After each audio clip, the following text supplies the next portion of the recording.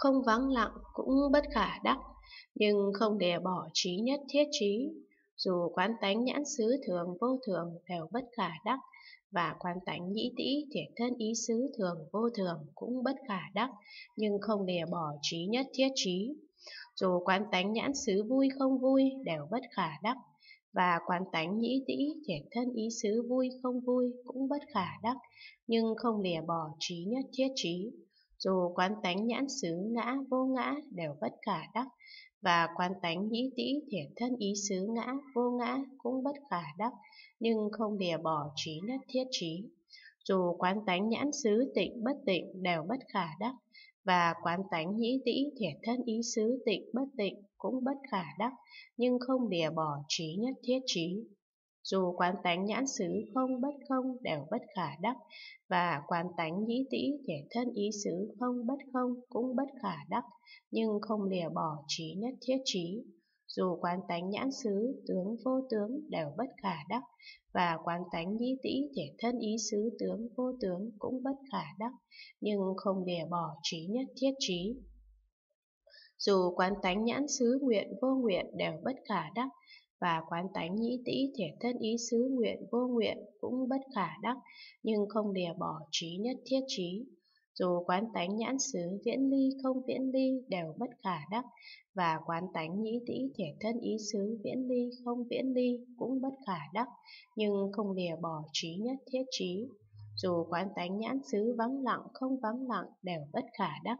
và quán tánh nhĩ tĩ thể thân ý xứ vắng lặng không vắng lặng cũng bất khả đắc, nhưng không lìa bỏ trí nhất thiết trí. Dù quán tánh sắc xứ thường vô thường đều bất khả đắc, và quán tánh thanh hương vị xúc pháp xứ thường vô thường cũng bất khả đắc, nhưng không lìa bỏ trí nhất thiết trí. Dù quán tánh sắc xứ vui không vui đều bất khả đắc, và quán tánh thanh hương vị xúc pháp xứ vui không vui cũng bất khả đắc, nhưng không lìa bỏ trí nhất thiết trí. Dù quán tánh sắc xứ ngã vô ngã đều bất khả đắc, và quán tánh thanh hương vị xúc pháp xứ ngã vô ngã cũng bất khả đắc, nhưng không lìa bỏ trí nhất thiết trí. Dù quán tánh sắc xứ tịnh bất tịnh đều bất khả đắc, và quán tánh thanh hương vị xúc pháp xứ tịnh bất tịnh cũng bất khả đắc, nhưng không lìa bỏ trí nhất thiết trí. Dù quán tánh sắc xứ không bất không đều bất khả đắc,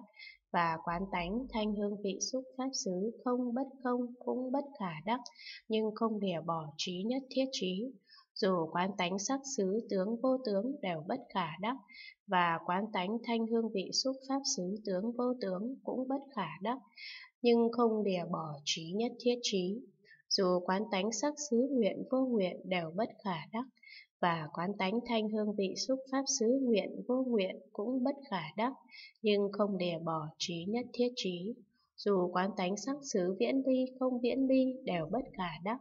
và quán tánh thanh hương vị xúc pháp xứ viễn ly không viễn ly cũng bất khả đắc, nhưng không đè bỏ trí nhất thiết trí. Dù quán tánh sắc xứ vắng lặng không vắng lặng đều bất khả đắc, và quán tánh thanh hương vị xúc pháp xứ vắng lặng không vắng lặng cũng bất khả đắc, nhưng không lìa bỏ trí nhất thiết trí. Dù quán tánh nhãn giới thường vô thường đều bất khả đắc, và quán tánh nhi tĩ thể thân ý giới thường vô thường cũng bất khả đắc, nhưng không lìa bỏ trí nhất thiết trí. Dù quán tánh nhãn giới vui không vui đều bất khả đắc, và quán tánh nhĩ tĩ thể thân ý giới vui không vui cũng bất khả đắc, nhưng không lìa bỏ trí nhất thiết trí. Dù quán tánh nhãn giới ngã vô ngã đều bất khả đắc, và quán tánh nhĩ tĩ thể thân ý giới ngã vô ngã cũng bất khả đắc, nhưng không lìa bỏ trí nhất thiết trí. Dù quán tánh nhãn giới tịnh bất tịnh đều bất khả đắc và quán tánh nhĩ tĩ thể thân ý giới tịnh bất tịnh cũng bất khả đắc, nhưng không lìa bỏ trí nhất thiết trí. Dù quán tánh nhãn giới không bất không đều bất khả đắc, và quán tánh nhĩ tĩ thể thân ý giới không bất không cũng bất khả đắc, nhưng không lìa bỏ trí nhất thiết trí. Dù quán tánh nhãn giới tướng vô tướng đều bất khả đắc, và quán tánh nhĩ tĩ thể thân ý giới tướng vô tướng cũng bất khả đắc, nhưng không lìa bỏ trí nhất thiết trí. Dù quán tánh nhãn giới nguyện vô nguyện đều bất khả đắc, và quán tánh nhĩ tĩ thể thân ý giới nguyện vô nguyện cũng bất khả đắc, nhưng không lìa bỏ trí nhất thiết trí. Dù quán tánh nhãn giới viễn ly không viễn ly đều bất khả đắc, và quán tánh nhĩ tĩ thể thân ý giới viễn ly không viễn ly cũng bất khả đắc, nhưng không lìa bỏ trí nhất thiết trí. Dù quán tánh nhãn giới vắng lặng không vắng lặng đều bất khả đắc, và quán tánh nhĩ tĩ thể thân ý giới vắng lặng không vắng lặng cũng bất khả đắc, nhưng không lìa bỏ trí nhất thiết trí. Dù quán tánh sắc giới thường vô thường đều bất khả đắc, và quán tánh thanh hương vị xúc pháp giới thường vô thường cũng bất khả đắc, nhưng không đè bỏ trí nhất thiết trí. Dù quán tánh sắc giới vui không vui đều bất khả đắc, và quán tánh thanh hương vị xúc pháp giới vui không vui cũng bất khả đắc, nhưng không đè bỏ trí nhất thiết trí. Dù quán tánh sắc giới ngã vô ngã đều bất khả đắc, và quán tánh thanh hương vị xúc pháp giới ngã vô ngã cũng bất khả đắc, nhưng không để bỏ trí nhất thiết trí. Dù quán tánh sắc giới tịnh bất tịnh đều bất khả đắc, và quán tánh thanh hương vị xúc pháp giới tịnh bất tịnh cũng bất khả đắc, nhưng không lìa bỏ trí nhất thiết trí. Dù quán tánh sắc giới không bất không đều bất khả đắc, và quán tánh thanh hương vị xúc pháp giới không bất không cũng bất khả đắc, nhưng không lìa bỏ trí nhất thiết trí. Dù quán tánh sắc giới, tướng vô tướng đều bất khả đắc, và quán tánh thanh hương vị xúc pháp giới tướng vô tướng cũng bất khả đắc, nhưng không lìa bỏ trí nhất thiết trí. Dù quán tánh sắc giới nguyện vô nguyện đều bất khả đắc, và quán tánh thanh hương vị xúc pháp giới nguyện vô nguyện cũng bất khả đắc, nhưng không lìa bỏ trí nhất thiết trí. Dù quán tánh sắc giới viễn ly không viễn ly đều bất khả đắc, và quán tánh thanh hương vị xúc pháp giới viễn ly không viễn ly cũng bất khả đắc, nhưng không lìa bỏ trí nhất thiết trí. Dù quán tánh sắc giới vắng lặng không vắng lặng đều bất khả đắc, và quán tánh thanh hương vị xúc thát giới vắng lặng không vắng lặng cũng bất khả đắc, nhưng không lìa bỏ trí nhất thiết trí. Dù quán tánh nhãn thức giới thường vô thường đều bất khả đắc, và quán tánh nhi tĩ thể thân ý thức giới thường vô thường cũng bất khả đắc, nhưng không lìa bỏ trí nhất thiết trí. Dù quán tánh nhãn thức giới, vui không vui đều bất khả đắc, và quán tánh nhĩ tĩ thể thân ý thức giới vui không vui cũng bất khả đắc, nhưng không lìa bỏ trí nhất thiết trí. Dù quán tánh nhãn thức giới ngã vô ngã đều bất khả đắc, và quán tánh nhĩ tĩ thể thân ý thức giới ngã vô ngã cũng bất khả đắc, nhưng không lìa bỏ trí nhất thiết trí. Dù quán tánh nhãn thức giới tịnh bất tịnh đều bất khả đắc, và quán tánh nhĩ tĩ thể thân ý thức giới tịnh bất tịnh cũng bất khả đắc, nhưng không lìa bỏ trí nhất thiết trí. Dù quán tánh nhãn thức giới không bất không đều bất khả đắc, và quán tánh nhĩ tĩ thể thân ý thức giới không bất không cũng bất khả đắc, nhưng không lìa bỏ trí nhất thiết trí. Dù quán tánh nhãn thức giới tướng vô tướng đều bất khả đắc, và quán tánh nhĩ tý thể thân ý thức giới tướng vô tướng cũng bất khả đắc, nhưng không lìa bỏ trí nhất thiết trí. Dù quán tánh nhãn thức giới, nguyện vô nguyện đều bất khả đắc, và quán tánh nhĩ tý thể thân ý thức giới, nguyện vô nguyện cũng bất khả đắc, nhưng không lìa bỏ trí nhất thiết trí. Dù quán tánh nhãn thức giới viễn ly không viễn ly đều bất khả đắc, và quán tánh nhĩ tí thể thân ý thức giới viễn ly không viễn ly cũng bất khả đắc, nhưng không lìa bỏ trí nhất thiết trí. Dù quán tánh nhãn thức giới vắng lặng không vắng lặng đều bất khả đắc, và quán tánh nhĩ tí thể thân ý thức giới vắng lặng không vắng lặng cũng bất khả đắc, nhưng không lìa bỏ trí nhất thiết trí. Dù quán tánh nhãn xúc thường vô thường đều bất khả đắc, và quán tánh nhĩ tĩ thể thân ý xúc thường vô thường cũng bất khả đắc, nhưng không lìa bỏ trí nhất thiết trí. Dù quán tánh nhãn xúc vui không vui đều bất khả đắc, và quán tánh nhĩ tĩ thể thân ý xúc vui không vui cũng bất khả đắc, nhưng không lìa bỏ trí nhất thiết trí. Dù quán tánh nhãn xúc, ngã vô ngã đều bất khả đắc, và quán tánh nhĩ tĩ thể thân ý xúc ngã vô ngã cũng bất khả đắc, nhưng không lìa bỏ trí nhất thiết trí. Dù quán tánh nhãn xúc tịnh bất tịnh đều bất khả đắc, và quán tánh nhĩ tĩ thể thân ý xúc tịnh bất tịnh cũng bất khả đắc, nhưng không lìa bỏ trí nhất thiết trí. dù quán tánh nhãn xúc không bất không đều bất khả đắc, và quán tánh nhĩ tĩ thể thân ý xúc không bất không cũng bất khả đắc, nhưng không lìa bỏ trí nhất thiết trí. Dù quán tánh nhãn xúc tướng vô tướng đều bất khả đắc, và quán tánh nhĩ tĩ thể thân ý xúc tướng vô tướng cũng bất khả đắc, nhưng không lìa bỏ trí nhất thiết trí. Dù quán tánh nhãn xúc nguyện vô nguyện đều bất khả đắc, và quán tánh nhĩ tĩ thể thân ý xúc nguyện vô nguyện cũng bất khả đắc, nhưng không lìa bỏ trí nhất thiết trí. Dù quán tánh nhãn xúc viễn ly không viễn ly đều bất khả đắc, và quán tánh nhĩ tý thể thân ý xúc viễn ly không viễn ly cũng bất khả đắc, nhưng không lìa bỏ trí nhất thiết trí. Dù quán tánh nhãn xúc vắng lặng không vắng lặng đều bất khả đắc, và quán tánh nhĩ tĩ thể thân ý xúc vắng lặng không vắng lặng cũng bất khả đắc, nhưng không lìa bỏ trí nhất thiết trí. Dù quán tánh các thọ do nhãn xúc làm duyên sanh ra thường vô thường đều bất khả đắc, và quán tánh các thọ do nhĩ tĩ thể thân ý xúc làm duyên sanh ra thường vô thường cũng bất khả đắc, nhưng không lìa bỏ trí nhất thiết trí. Dù quán tánh các thọ do nhãn xúc làm duyên sanh ra vui không vui đều bất khả đắc, và quán tánh các thọ do nhĩ tĩ thể thân ý xúc làm duyên sanh ra vui không vui cũng bất khả đắc, nhưng không lìa bỏ trí nhất thiết trí. Dù quán tánh các thọ do nhãn xúc làm duyên sanh ra ngã vô ngã đều bất khả đắc, và quán tánh các thọ do nhĩ tĩ thể thân ý xúc làm duyên sanh ra ngã vô ngã cũng bất khả đắc, nhưng không lìa bỏ trí nhất thiết trí. Dù quán tánh các thọ do nhãn xúc làm duyên sanh ra tịnh bất tịnh đều bất khả đắc, và quán tánh các thọ do nhĩ tĩ thể thân ý xúc làm duyên sanh ra cũng bất khả đắc, nhưng không lìa bỏ trí nhất thiết trí. Dù quán tánh các thọ do nhãn xúc làm duyên sanh ra không bất không đều bất khả đắc, và quán tánh các thọ do nhĩ tĩ thể thân ý xúc làm duyên sanh ra không bất không cũng bất khả đắc, nhưng không lìa bỏ trí nhất thiết trí. Dù quán tánh các thọ do nhãn xúc làm duyên sanh ra, tướng vô tướng đều bất khả đắc, và quán tánh các thọ do nhĩ tĩ thể thân ý xúc làm duyên sanh ra, tướng vô tướng cũng bất khả đắc, nhưng không lìa bỏ trí nhất thiết trí. Dù quán tánh các thọ do nhãn xúc làm duyên sanh ra nguyện vô nguyện đều bất khả đắc, và quán tánh các thọ do nhĩ tĩ thể thân ý xúc làm duyên sanh ra nguyện vô nguyện cũng bất khả đắc, nhưng không lìa bỏ trí nhất thiết trí. Dù quán tánh các thọ do nhãn xúc làm duyên sanh ra viễn ly không viễn ly đều bất khả đắc, và quán tánh các thọ do nhĩ tĩ thể thân ý xúc làm duyên sanh ra viễn ly không viễn ly cũng bất khả đắc, nhưng không lìa bỏ trí nhất thiết trí. Dù quán tánh các thọ do nhãn xúc làm duyên sanh ra, vắng lặng không vắng lặng đều bất khả đắc,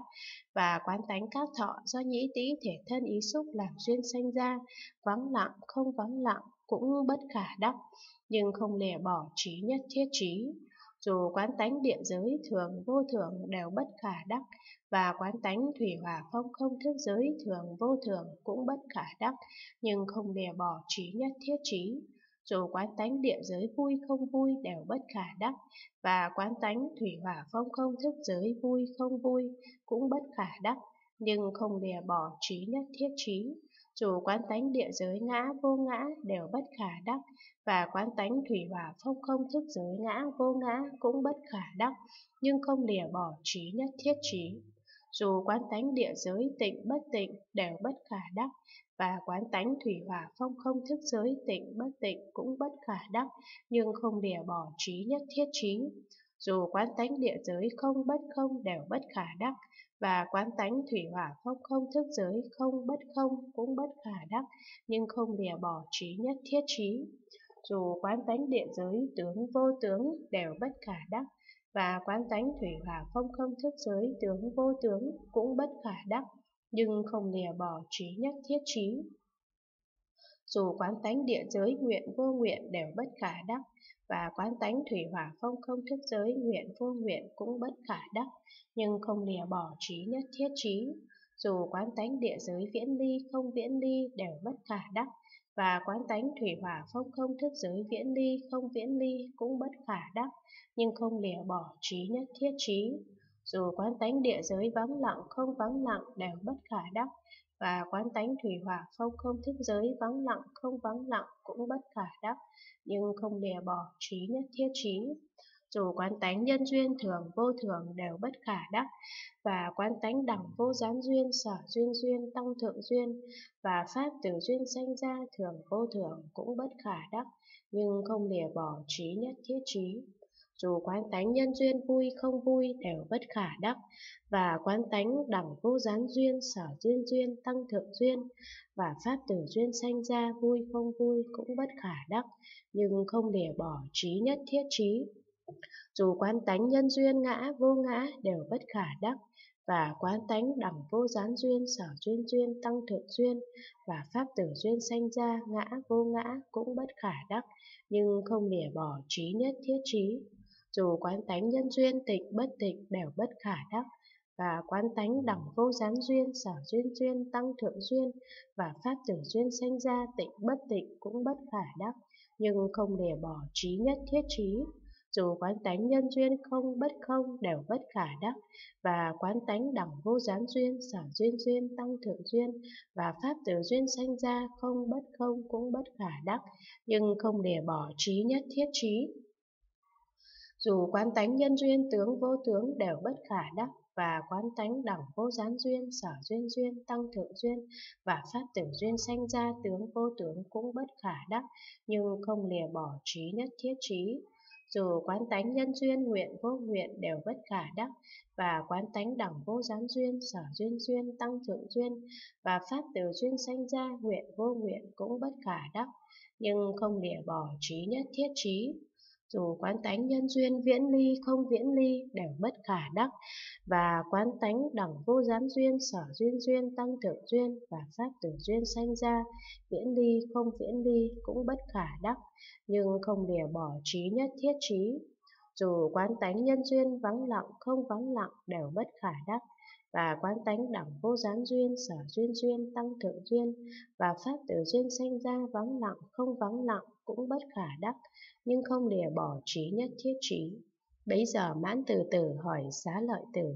thưa tôn giả, vì lý do gì Như Lai ứng tránh đẳng giác cho chúng Đại Bồ Tát nhập bốn tịnh lự, bốn định vô sắc, mà không cho chúng Đại Bồ Tát ở lâu trong ấy, tâm sanh nhiễm trước? Xá lợi tử đáp, Thưa tôn giả, không cho chúng Đại Bồ Tát sanh tâm nhiễm trước đối với bốn thịnh lự, bốn định vô sắc và sanh trời trường thọ cho đến Như Lai ứng chánh đẳng giác, không cho chúng Đại Bồ Tát sanh tâm nhiễm trước bốn tịnh lự, bốn định vô sắc và ở lâu trong ấy. Vì sao? Mãn từ tử vì nếu sanh cõi dục thì mau được viên mãn trí nhất thiết trí, còn sanh cõi sắc vô sắc, không có công dụng đây. Mãn từ tử liền thưa xá lợi tử, Thưa tôn giả, chúng Bồ Tát rất là hiếm có, làm được việc khó làm. Nghĩa là các Bồ Tát trụ thắng định rồi trở lại xả bỏ để thọ pháp thấp kém. Ví như có người gặp kho tàng được chôn giấu, tay nắm ngọc báu lại vứt bỏ đi. Về sau lúc thấy vỏ sò, người kia liền lượm lấy đem vào nhà. Cũng vậy, chúng đại Bồ Tát nhập bốn tịnh lự, bốn định vô sắc, vắng lặng an vui, tùy ý dạo đi hay dừng nghỉ, sau vứt bỏ đi trở lại sanh cõi dục, tiếp nhận mọi thứ thấp kém của thân tâm, rồi nương vào đó để tu hành bố thí, tịnh giới, an nhẫn, tinh tấn, tịnh lự, bát nhã, ba la, mật đa và vô biên các pháp phần Bồ Đà. Thấy được sự việc này nên Đức Phật cho chúng Đại Bồ Tát sanh trời trường thọ, có thời gian lâu dài tu hành bố thí, tịnh giới, an nhẫn, tinh tấn, tịnh lự, bát nhã, ba la, mật đa và vô biên các pháp phần Bồ Đà do đây mau được trí nhất thiết trí. Mãn từ từ bạch Phật Bạch Thế Tôn, con thưa với Thế Tôn như thế, há chẳng làm sáng tỏ được Phật là bậc thật ngữ, là bậc pháp ngữ, là bậc có khả năng đang nói pháp tùy pháp sao? Phật dạy mãn từ từ. Này mãn từ từ, nay đối với ta, ông nói lời như vậy thì chẳng phải đã làm sáng tỏ như lai, là bậc thật ngữ, là bậc pháp ngữ, là bậc có khả năng đang nói pháp tùy pháp. Vì sao? Này mãn từ từ, vì nếu các Bồ Tát sanh cõi trời trường thọ, thì không thể tu hành công đức như thế được, không thể mau được trí nhất thiết trí. Lại nữa, mãn từ từ, Nếu các Bồ Tát nhập bốn tịnh lự, bốn định vô sắc vắng lặng an vui, thì các Bồ Tát này không có ý nghĩ như vậy. Do định này ta sanh cõi sắc vô sắc, cũng chẳng suy ngẫm do tịnh lự và định vô sắc, ta vượt khỏi sắc vô sắc. Các Bồ Tát nhập bốn tịnh lự, bốn định vô sắc vắng lặng an vui, chỉ muốn phát khỏi thần thông tự tại, làm nhiều lợi ích cho các hữu tình, cũng muốn điều phục thân tâm nặng nề, thô cạch, để có thể tu đạt các công đức. Chúng đại Bồ Tát này nhập các thắng định vắng lặng an vui, dùng phương tiện thiện xảo thọ thân cõi dục, đối với các thắng định cũng không lui mất. Vì vậy, chúng đại Bồ Tát chẳng vượt ba cõi và cũng chẳng nhiễm trước, dùng phương tiện thiện xảo thọ thân cõi dục làm lợi ích cho hữu tình gần gũi chư Phật, mong chứng đắc trí nhất thiết trí. Khi ấy mãn từ từ đại bạch Phật, Bạch Thế Tôn chẳng lẽ trí nhất thiết trí của Như Lai ứng chánh đẳng giác đã vượt khỏi ba cõi? Phật dạy, này mãn từ từ, đúng vậy, như lời ông nói, Như Lai đã được trí nhất thiết trí vượt khỏi ba cõi, không còn lệ thuộc ba cõi đó. Tất cả Như Lai ứng tránh đồng giác không cho chúng đại Bồ Tát an trụ tịnh lự ba la mật đa ra khỏi pháp ba cõi hoàn toàn. Mãn từ từ bạch Phật, Bạch Thế Tôn tất cả như lai ứng chánh đẳng giác, quán nghĩa nào mà cho chúng đại Bồ Tát cầu chứng quả vị vô thượng chánh đẳng Bồ Đề an trụ vào tịnh lự ba la mật đa và chẳng cho chúng đại Bồ Tát ra khỏi pháp ba cõi hoàn toàn. Phật dạy mãn từ tử này mãn từ tử nếu hưu đại Bồ Tát cầu chứng quả vị vô thượng chánh đẳng Bồ Đề, an trụ tịnh lự ba la mật đa. Nếu như Lai hứa cho vượt khỏi ba cõi, thì họ liền thối lui thệ nguyện Bồ Tát mà an trụ địa vị thanh văn hay độc giác. Tất cả như Lai ứng chánh đẳng giác, thấy sự việc như thế, nên hứa cho chúng đại Bồ Tát cầu chứng quả vị vô thượng chánh đẳng Bồ Đề, an trụ vào tịnh lự ba la mật đa, mà không cho chúng đại Bồ Tát ra khỏi pháp ba cõi hoàn toàn không bỏ mất bản nguyện của Bồ Tát để lui trụ địa vị thanh văn hay độc giác. Lại nữa, mãn tử tử, nếu khi chúng đại Bồ Tát ngồi tòa Bồ Đề, các hạnh viên mãn, thì lúc bấy giờ chúng đại Bồ Tát mới nên rốt giáo bỏ pháp ba cõi, do đó chứng đắc trí nhất thiết trí. Vì vậy, nên ta nói, trí nhất thiết trí vượt khỏi ba cõi, không còn lệ thuộc ba cõi. Này mãn từ từ, nếu Đại Bồ Tát tùy chỗ sanh, mà bố thí tịnh giới an nhẫn, tinh tấn, tịnh lự, bát nhã, ba la, mật đa, và vô biên các pháp phần Bồ Đề khác, và quan sát lý thú sâu xa, pháp nội không, ngoại không, nội ngoại không, không không, đại không, thẳng nghĩa không, hữu vi không, vô vi không, tất cánh không, vô tế không, tán không, vô biến dị không, bản tính không, tự tướng không, cộng tướng không, nhất thiết pháp không, bất khả đắc không, vô tính không, tự tính không, vô tính tự tính không, và chân như vân vân, thì mỗi mỗi đều phát tâm không nhiễm trước, hồi hướng cầu đến trí nhất thiết trí. Do nhân duyên ấy, Bồ Tát này bỏ dần pháp ba cõi để lần lượt gần gũi trí nhất thiết trí. Hết quyển thứ 591